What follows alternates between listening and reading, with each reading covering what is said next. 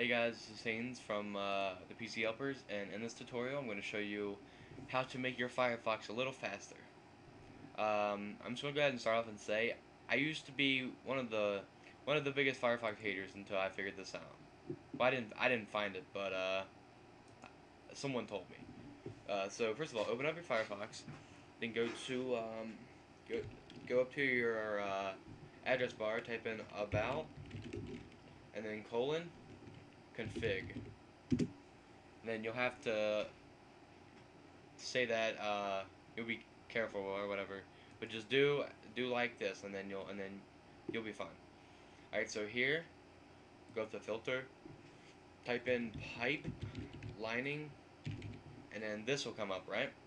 And then for uh, network HTTP pipelining max request, set it to 50. That's about as as as high as it'll go. Uh, but it'll definitely, oh, and make sure you make this one true. Make sure this one's true. Because if it's false, uh, it'll, it'll mess up this. Okay, um, this was a short tutorial, so, because uh, it's not really that much to it. And then, uh, I hope it helped you guys out. Uh, this is Haynes. Uh, don't forget to subscribe. Peace.